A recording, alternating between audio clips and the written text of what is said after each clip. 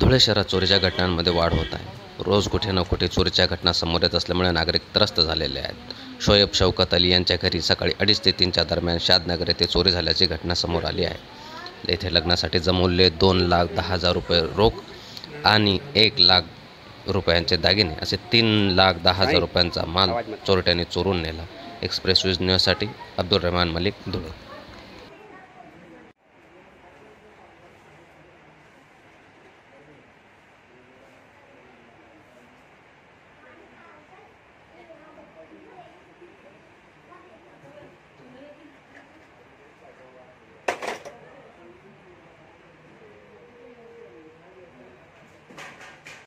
नाम अंसारी हबीबा है मैं शादाब नगर में रहती हूँ। मैं रात में ढाई से तीन के दरमियान में बाथरूम में गई।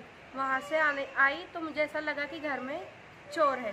तो मैंने आकर अंदर देखी तो दो उधर से निकल चुके थे और एक इधर से भाग रहा था। तो मैंने उससे छीना झपटी करी, ऐसी उससे हुआ तो उसने अल्लाह जाने उसके हाथ में क्या था, उसने मेरे चेहरे पे वार किया, इसे मुझे थोड़ा डर भी लगा। लेकिन छीना झपटी में मैंने कुछ सामान ऐसे छीन पाई।